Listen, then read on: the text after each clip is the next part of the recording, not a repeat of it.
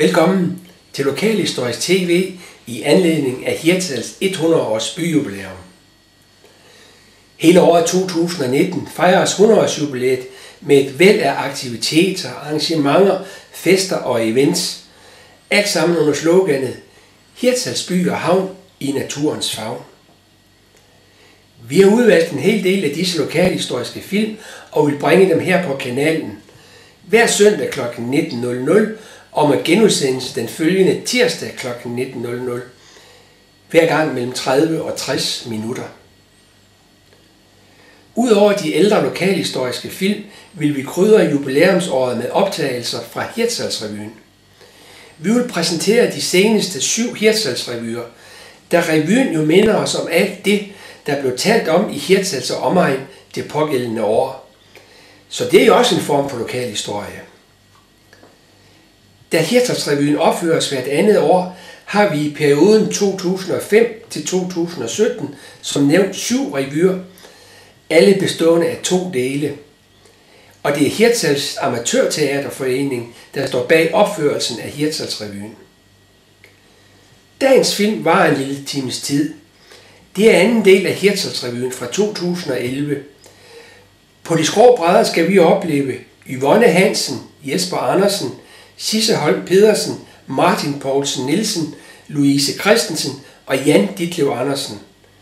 Musikken leveres af kapelmester Anders Holm, og instruktion og koreografi er lagt i hænderne på Dorte Mørk.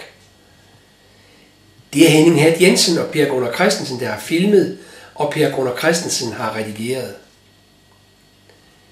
Vi stiller nu om til Hotel Hirtshals og Hirtshals Revyen 2011. God fornøjelse.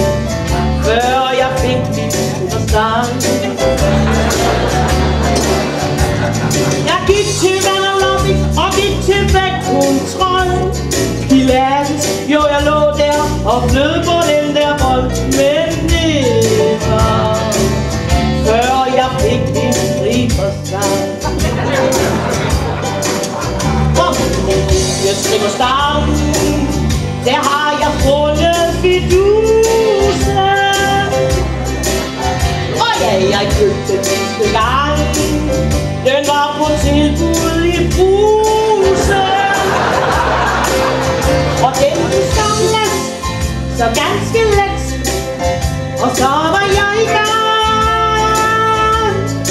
Kroppen svang med temperament. Omkring min strippersang Strippersang Ja, nu er jeg jo altså en rig type, For at og på bussen, vel? Er svær sko. Så hvis I tror, der er nogle nemme løsninger til at blive lækker og smækker, så er der bare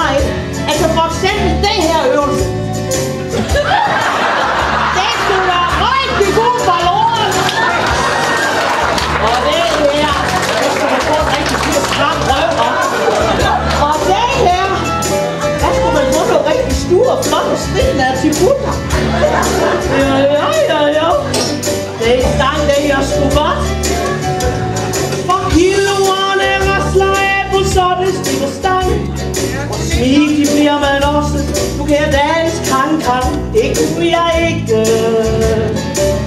Før jeg fik min stripperstang.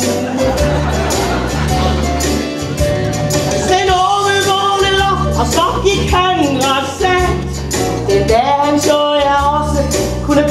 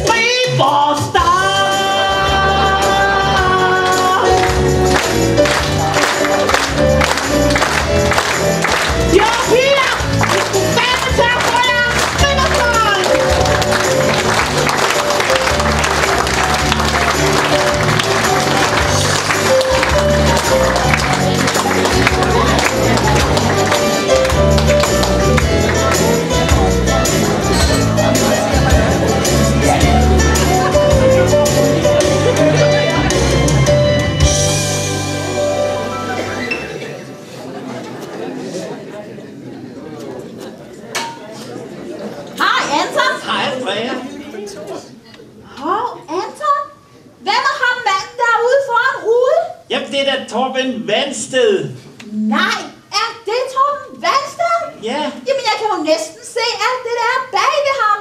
Ja, han har faktisk tabt sig rigtig, rigtig meget, siden han er blevet fyrmester. Nå, at det er at rende op og ned og op og ned i fyrtårnet. Ja, altså både og. Altså, den første gang, han løb op i fyrtårnet, der gik det rigtig godt. De første par meter. Men så sad han helt fast. Men efter to måneder, så havde han tabt sig så meget, at han slap løs igen. Og nu har han besluttet sig for at sælge ideen som en helt ny slankekur. Og den skal hedde Fyr flæsket og få en optur. Så skulle I to fyldte flødeboller da godt nok til at melde jer til dig.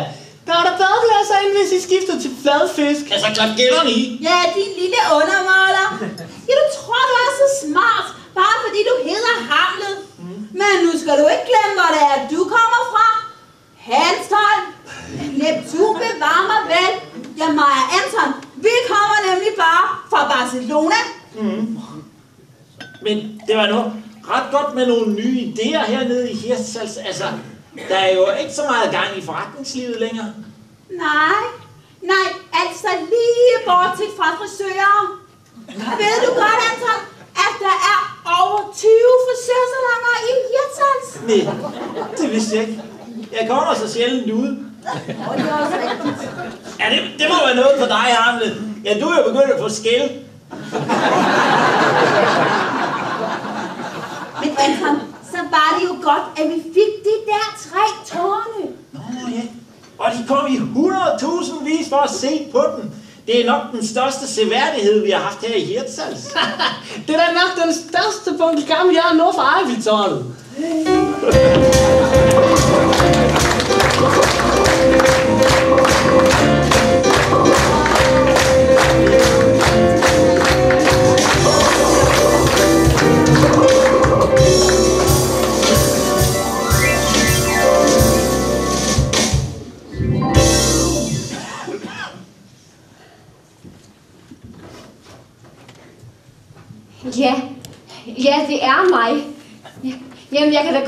godt forstå, hvis I døjer med at genkende mig, for... Det er jo sådan her, jeg ser ud i virkeligheden. Flot billede, ikke? Fotografen bliver udnævnt til æresmedlem i det konservative Folkeparti i næste uge. Ja, det er også den eneste måde, vi kan få nye medlemmer. Desværre er der jo ikke så mange, der har set plakaten. Faktisk er det her den eneste, der er tilbage. Alle de andre blev stjålet. De blev simpelthen flået ned fra lygtepælene op til vandet. Ja, det fik vi så en masse omtale i pressen ud af. Faktisk, så troede jeg på et tidspunkt, det var Susanne Fibiger, der selv havde stjålet dem. Ja, bare for at komme i tv. Men ved I hvad? Det hænger helt anderledes sammen. Det viser sig, at det er teenage-drenge af anden etnisk herkomst end gammel dansk, der har stjålet dem. Ja, de synes simpelthen, jeg er for lækker. Så nu hænger jeg på væggen lige tusindvis af drengeværelser over hele Nordjylland. Tænk, at jeg er blevet et idol. Det var jeg aldrig som minister, uanset hvad jeg var minister for. Jamen, de her pomadedrenge har snedet sig ud i natten og revet plakaterne med mig ned. Ja, nu sidder de badet i mundvand foran mit billede, mens de... Ja, Carsten Lauritsen, han er skide misundelig. Hans valgplakater blev brændt mange steder. Så er det, jeg siger. Hellere få den revet af, end blive brændt af.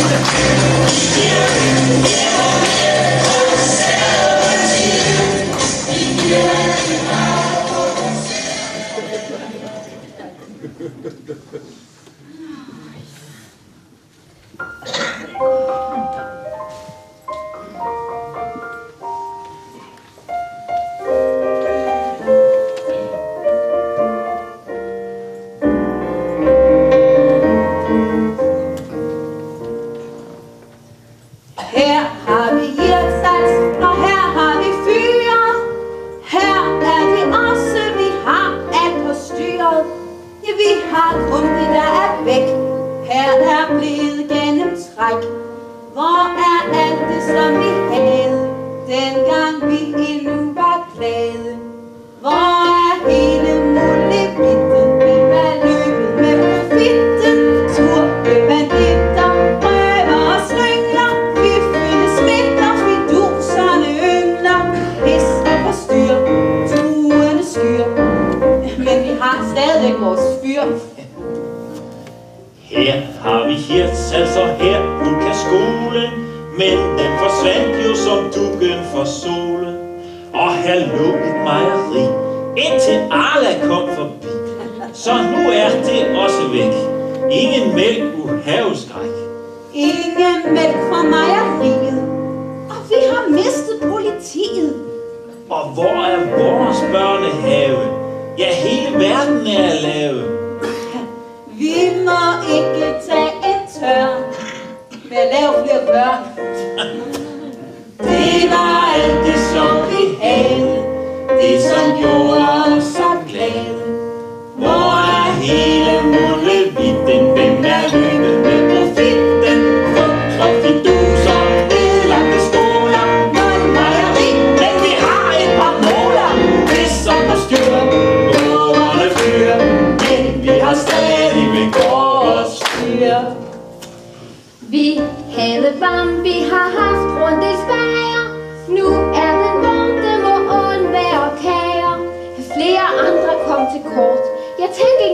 Intersport.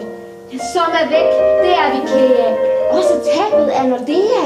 Og det var det store drama, da vi mistede Colorama. Det er slut med Ulkaskolen. Ja, den forsvandt som dug for solen.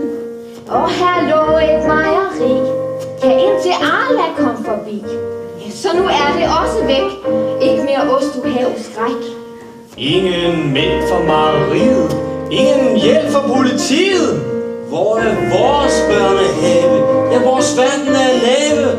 Ja, vi må ikke tage en tør med at lave flere børn. Det var alt Det sjov vi havde, det som gjorde os så glade.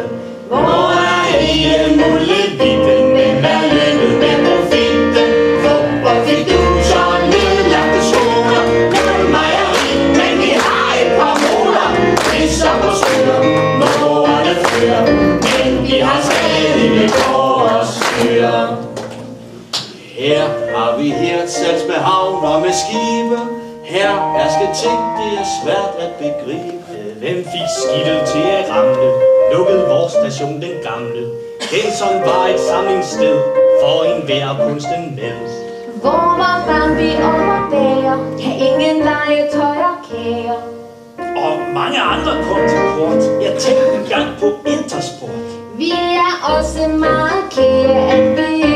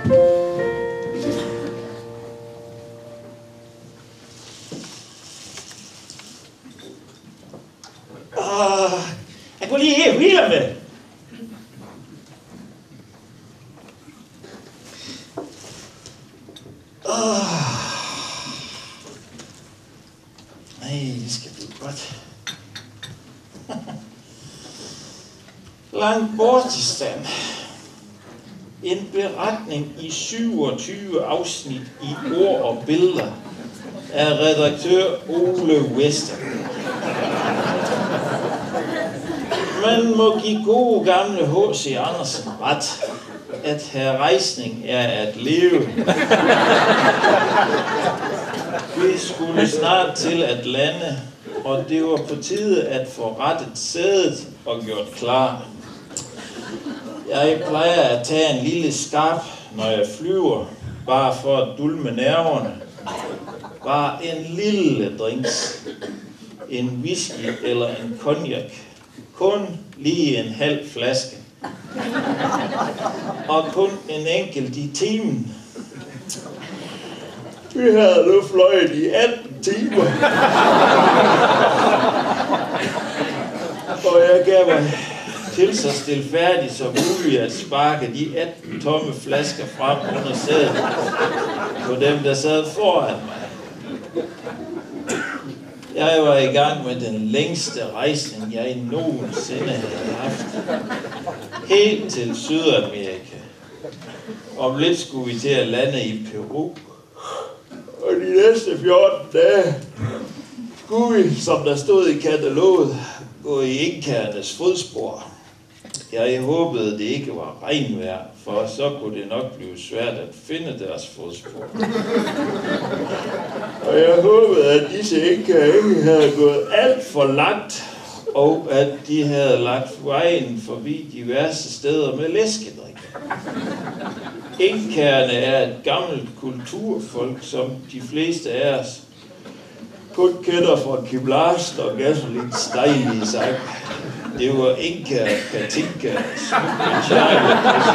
Hvad i hedeste er det, der foregår? Ja, det lyder jo grangiveligt som... Jamen, Jamen, hvordan i hulen? Ole Vestergaard har jo ikke haft en eneste artikel i den avis. Ja, de sidste to Jamen, år. Siden Nordiske overtog den. Jamen, altså, Nej, nu. Det var dog den stiveste. Det er jo avisen fra uge 37 i 1998. jamen det, Hvor kommer den fra? Jeg siger mig, hvad drejer det her så om? jamen det er ingenting, ingenting. Det, er- det, er, det, er, no, det er Nora. Altså, Nej, nu. Har du gemt alle de gamle udgaver af Hirtshals Bindslev Avis? jamen, Alle dem med Ole Vestergaards rejser? Jamen altså, undskyld. Det, det er jo bare fordi, jeg vil bruge alle vores penge på sovemedicin. Det var sådan med at falde i søvn. Lige snart Ole Vestergaard hey, har rejsning i et af de der varme lag, jamen, så falder jeg simpelthen så dejligt hen. Det skal ud. Alt det skidt. Ikke om jeg vil huse alt det lort. Ved du hvad? Jeg skal give dig varme lande. Ja, Ole Vestergaard også. Jamen, det- Nu kan han foretage den sidste rejsning. Ja, det bliver inde i vores brændeovn. Nej, det må Nej, altså, jeg kan ikke sove uden Ole Vestergaard.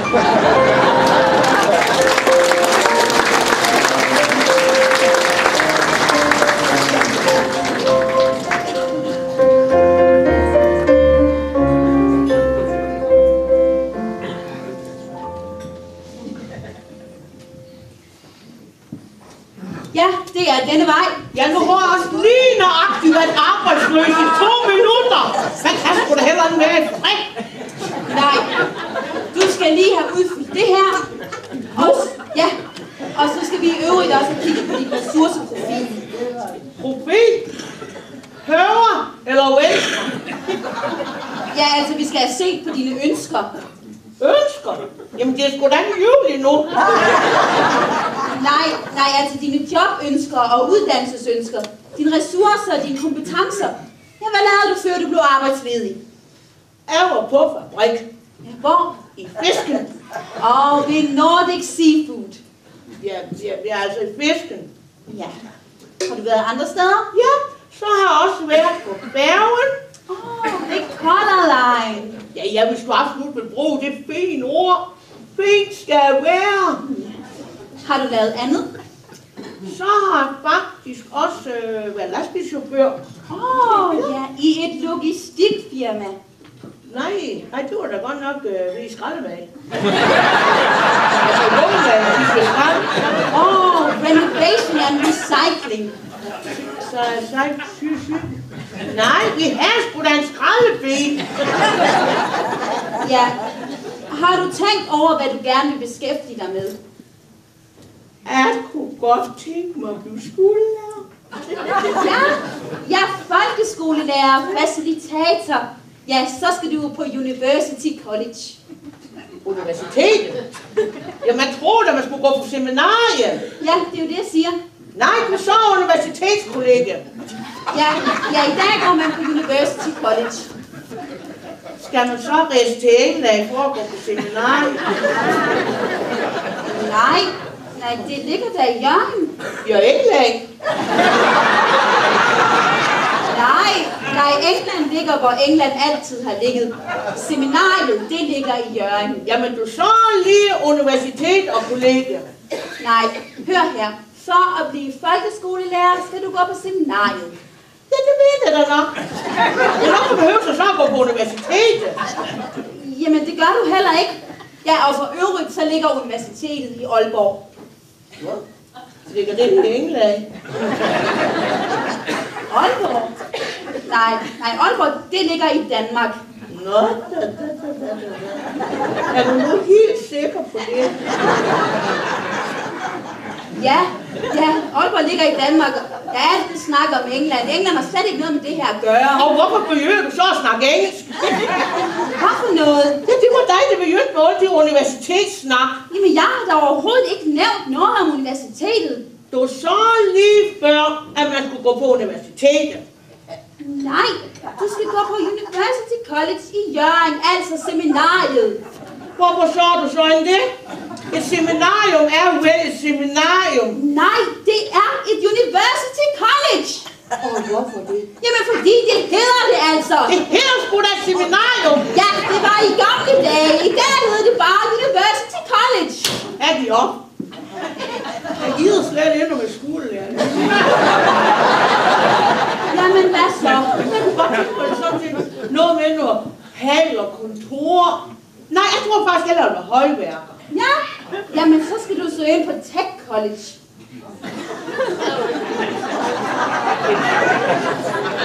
Skulle det tilfældigvis det i England? Nej, nej, det er skam herhjemme. Ja, ja, det er et andet college. Teknisk skole. Ved du hvad? Jeg orker simpelthen en nul i kollega. Jeg tror faktisk, at man så før, er jo heller ikke for noget og noget kontor, så. Ja, jamen, så skal du søge ind på Business School.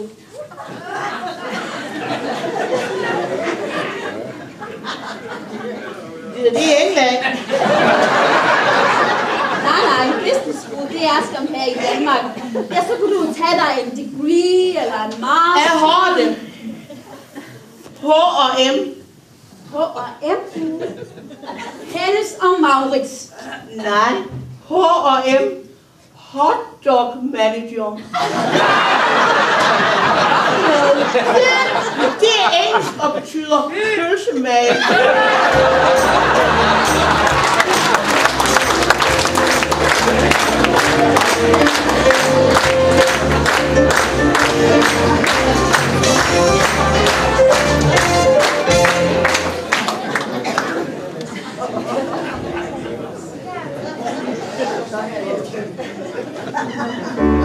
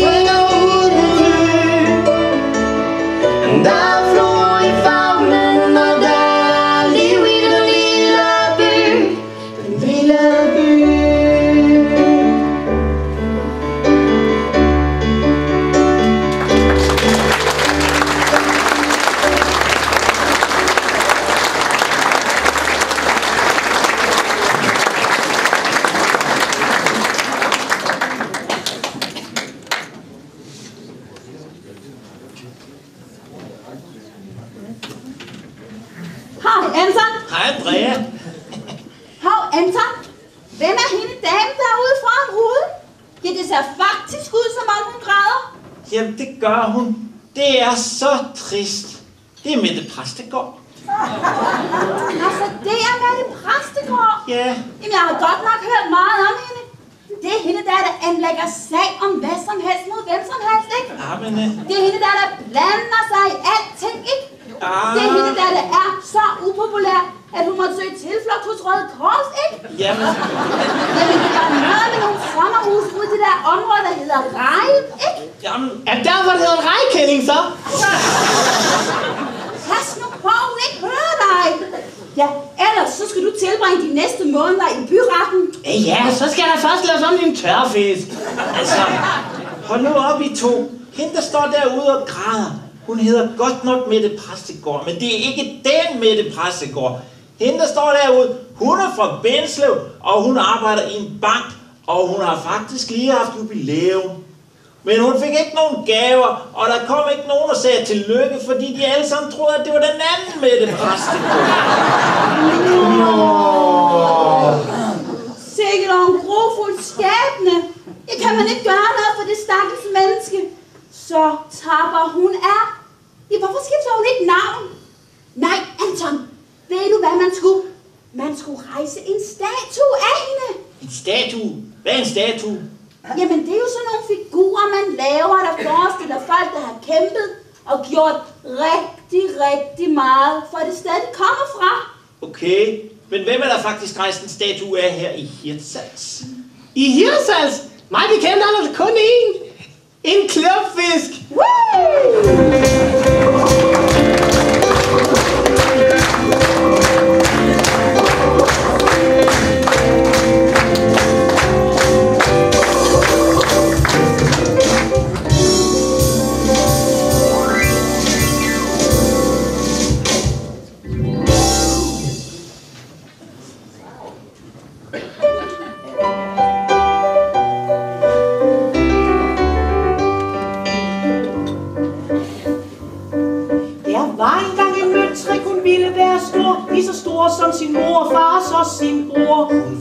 sandelig en dejlig tøs. Man kunne ikke sige, at der var en skrue løs. Man kunne ikke sige, at der var en skrue løs. Så hun tænkte stort og helt ved egen kraft. At hun ville blive til noget hos Marine, siger Så hun tænkte stort og helt ved egen kraft, at hun ville blive til noget hos Marines jaft.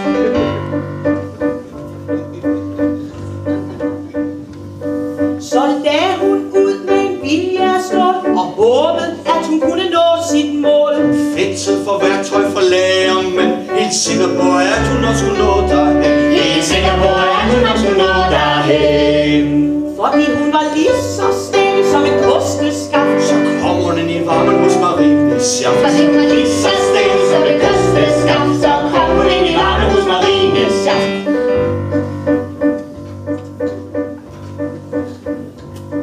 Hun knoklede løs og blev splejset sammen Med en aksel, det var den rene fryd og gammel Kom hun ombord på et vældigt skib. Jeg sejlede til havene imod Karibien. Der sejlede til havene imod Karibien. En større lykke har en møtring aldrig. Haft End da den sejlede ud fra den marine sjaft En større lykke har en møtrik aldrig. Haft, da den sejlede ud fra den marine shaft.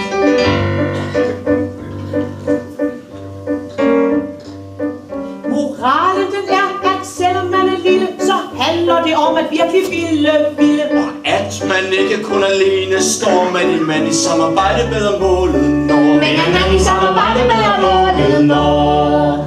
Jo, er der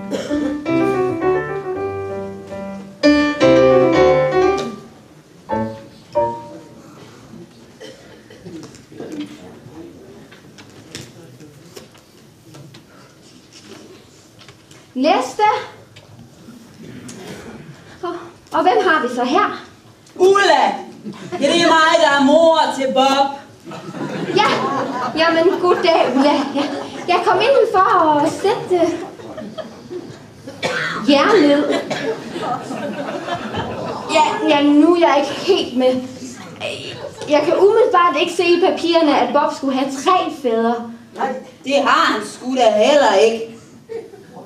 Ja, så tror jeg ikke helt, jeg forstår. Jamen, det er egentlig meget simpelt. Bob, han er undfanget i 2002 under VM i fodbold. Ikke? Jeg er stadigvæk ikke helt med. Jo, altså ham der, det store drog, Mogens, som jeg boede sammen med dengang. Han sad altså bold i fjerneren hele tiden. Ja, man skulle næsten tro, at remoten den var lige med fast i hånden på ham. Og jeg hader fodbold, ikke? Øh, Ja, så skulle jeg jo finde på noget andet at lave i stedet for. Ja, så endte det med, at Bob han dukkede op ni måneder senere. okay. Øh, Jamen, hvorfor sidder der så tre mænd ved siden af dig? Jo, altså VM i fodbold, det var jo et par uger i. Ja, så jeg er ikke helt sikker på, hvem af de mandfolk der, der løber med fadertitlen. Ja, det var jo det, jeg håbede på, at du kunne hjælpe mig med at finde ud af. Ja. Ja. Ja, jamen, jeg skal da nok prøve. Altså, jeg vil da gerne starte med at sige, at Bob er en utrolig social dreng, der leger godt med alle. Fuld, fuldstændig som sin mor. Ja, hun har skrevet en til mig. Og sådan med flere på én gang. Øh, Nogle gange har vi dog observeret, ja, at Bob kommer rødkinde ud fra legerummet med alle puderne. Ja, vi har ham vist mistænkt for at lege nogle lidt smålumre lege derinde.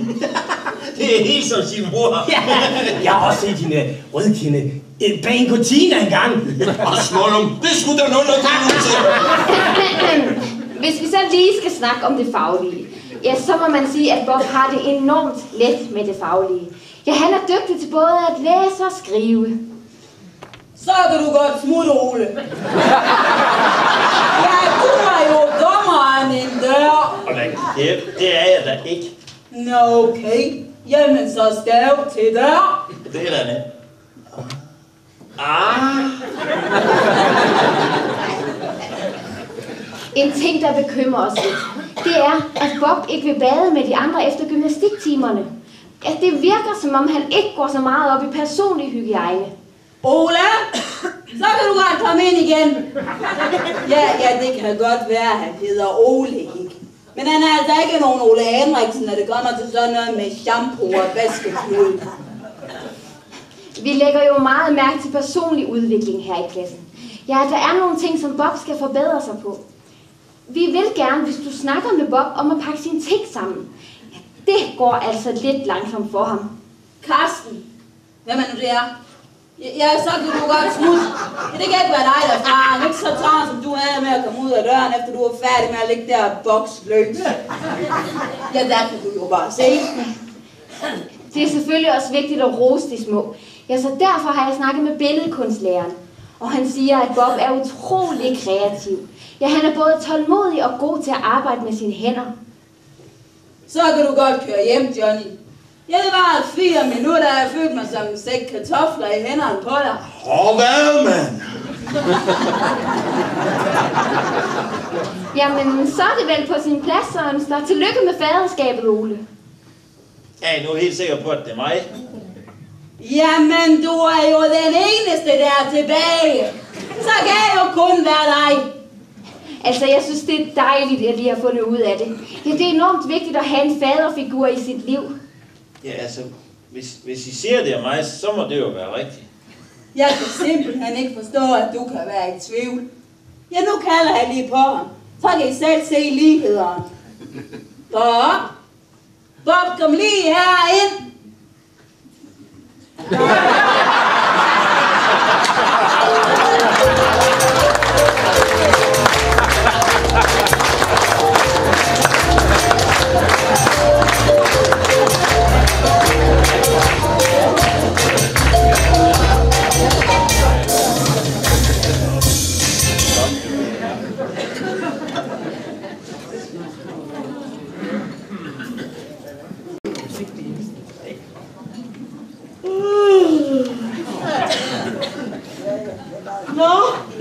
nok til op, hva'?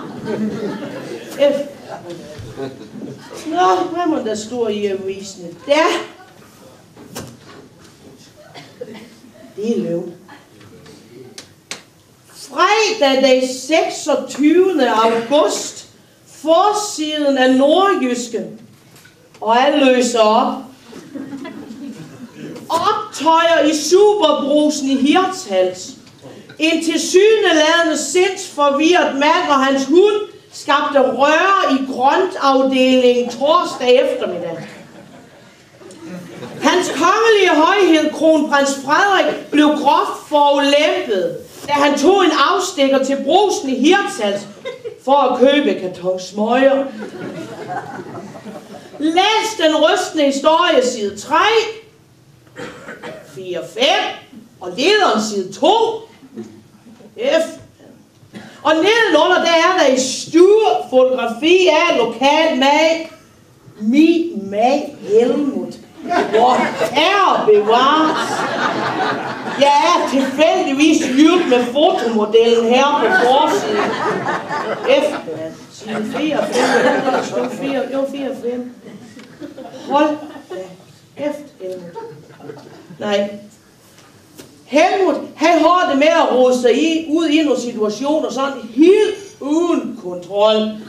Altså for at sige lige ud, så er han... Øh... Nej, lad mig begynde med begyndelsen. Helmut, han har meldt sig til en svampetur for pensionister og etterlønner. Nu er Helmut hverken pensionist, havde er heller efterlønner. Havde jeg vel nærmest det, man kunne kalde arbejdssky. Nå, men svampearrangørerne, de har så indkaldt til en introduktionsaften, sådan lidt med lidt ostehaps og lidt lysbilleder. Nu er jeg bare lige sådan, at Helmut har en af store teoretikere. Han har altid haft det her motto i med. Learning by doing. Så svampeintroduktionsaftenen, den blev skyvet ud med en Superliga-aften med øl og chips. F. Nå, men så på selve svampedagen, der lå han så afsted på knallerten, med grådighedskassen bagpå, og bitte pjevs i cykeltraileren. Bitte pjevs havde en så bitte hvad? Og det får jo også fars ude, så vi med. Nå, Helmut, han var i kortbukser med blåt hvide bind, så man faktisk kunne tjekke igen, hvis inden det var for en ret imponerende samling af overknuder. Tropehjelm og myggenet, og så et par sandaler, havde jeg spændt så håb i i forstår, at velcroen den var så lang, det blaffer efter ham, det var han lå afsted knaller. Fint så er fri for det, der styrthjelm. Det ser fandme også så dumt ud, opdagen. Dumt. Tøs du virkelig, Helmut? Nå, Helmut, han siger, at han kan huske så mø fra selve svampeturen. Men han kan huske, at Bitte Pjevs, han kom løbende med en rigtig stue p, ligesom han skulle til at bukse ned og plukke svamp. Så gik lyst ud. Helmut, han kunne lige håbe, om det var en Karl Johan, eller sådan en af de der røde mænd med whip-rækker. Så to timer efter, at Birte Pjevs og Helmut de har forladt matriklen, der ringer telefonen. Det var brugsuddeleren. Hej Connie, du bliver sagt med nødt til at komme efter ham. Han er helt fra det. Jeg tror, han har spist noget, han ikke kunne tåle. Han er helt op og syre. To minutter efter, der stod jeg i grøntafdelingen. Der stod Helmut på to omvendte menneskekasser. To grønne for Arne. Jeg lige tager, jeg tror jeg skulle lige, det var Simon Emil min Nej, nej, nej, nej, nej, nej, nej. Det var Helmut. Han stod der og fægte som en anden Mussolini. I nogle kulturer, der foregår omskæring af mandfolk af hygiejniske grunde. Men det har jeg nu andre problemer med. Men nær det kommer til kvindefolk, så vil jeg bare sige, kvæk med lapperen, de skal beholde flapperen.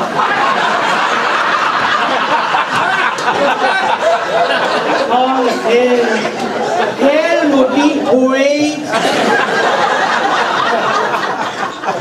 Nå. Han fortsatte så med samme energi. Jamen, hvem skulle have troet det? Helmut og energi i samme sætning.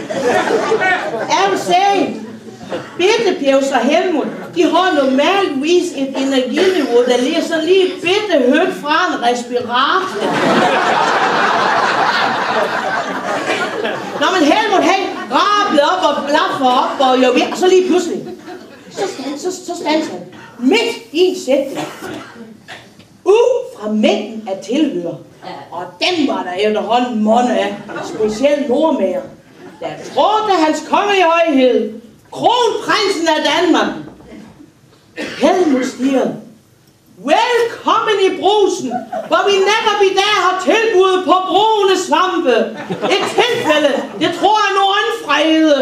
Og hvem er så lige ved hånden nøleren til den bil, amerikanerne de har plantet på månen? Se, der er noget at tænke over. Helmut han rablede videre og slog, voldsomt du med armen. så væltede de to grønne fra Arne.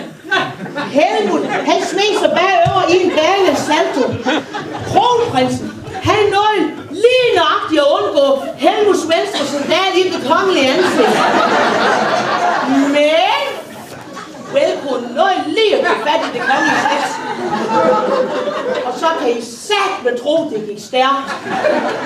Og det var det lige fotografen her lige har tårn her. Ja, ja. Andet foto. Side 5 i nordjyske. To grønne arlærer. Helmut Halle på rød. Hans kongelige højhed, prinsen fastfrosse midt i en forlæns salto. Bindepjævs og en af højhedens livvagter, de er frit svævende i luften i hver deres redningsaktion. Bindepjævs for at redde Helmut fra et totalt umotiveret angreb fra kongeligheden, og livvagten for at beskytte højheden fra en svampespisende psykopat. Så er der så tre foto. Bitte Bjevs, han har rigtig godt fat i det majestætiske røvbal. Og livvagten, han har rigtig godt fat i Helmuts hals. Det ser faktisk ud, som om han er ved at skrue hurtigt af. Det vil så heller ikke gøre det store forskel. Ja, så har vi så det fjerde og sidste foto. Ubetaleligt. Bindepjevs og Helmut, de føres væk af ordensmagten. Helmut i håndjern og Bindepjevs i benlås. Helmut, han har ingen tropehjælp på mere, og den venstre sandal, den hænger sådan set stadigvæk på forsiden af kongeligheden. Sammen med et par kiwier, som velkronen lige nåede at række til sig.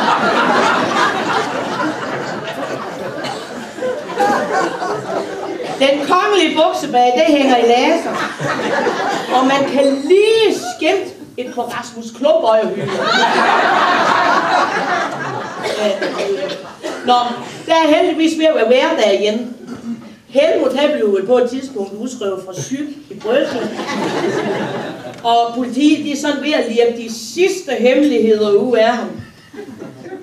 Ja, jeg har søgt et par nye sandaler. Uden velcro. For helvede.